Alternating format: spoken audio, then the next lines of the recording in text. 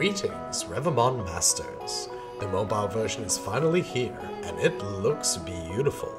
I was expecting some serious bugs since the game was basically ported over to mobile from VR, but I was very, very wrong. Everything is user-friendly and easy to use. One small hiccup though, catching Revomon in the mobile version is not as simple as shooting an orb at it like in VR.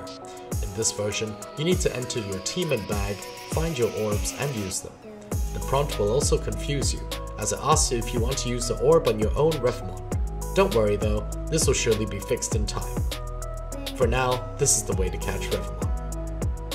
There was also a major issue with lag when the server first went live, but within a few days the dev team have already figured out a solution. Now that is some fast work. I also understand now why the dev team have increased the spawn difficulty in the mobile version. You can grind about 30% faster than you can in VR. Have a look at these two side by side. Playing Revomon on a mobile emulator on my PC is much faster than VR. That's right, I said on my PC. iPhone users, I am here to save you from your god-awful taste in phone brands. Revomon will be coming to iOS at some point, but I have no idea when. For now, we have BlueStacks. BlueStacks is a leading PC emulator for Android games and works really well with Revomon. To download BlueStacks, head to BlueStacks.com and download the BlueStacks player on the right of the two options, BlueStacks version 5. Once you're in, simply sign in with your Google account in the Play Store and search for Revomon. Click install and you're almost ready. Some PCs will be able to run Revomon off the bat, but most will require enabling virtualization, which can massively increase the performance of the emulator. BlueStacks has a comprehensive guide on how to enable this. I will leave the link in the description. Once you've completed their instructions, you just need to set up controls. Here in the Revomon game, you can see the controls that I have set up. There are only two things you really need, and that is two D-pads. Set one of them with W and S and the other A and D, and you have your standard WASD movement commands. Of course you can program any key you want. From here, your mouse can handle the rest, but you can set some more optional hotkeys with the tap here command, entirely up to your preferences. And that's it! Enjoy playing Revomon comfortably on your PC. If you're lucky, you'll find a ooh, would you look at that?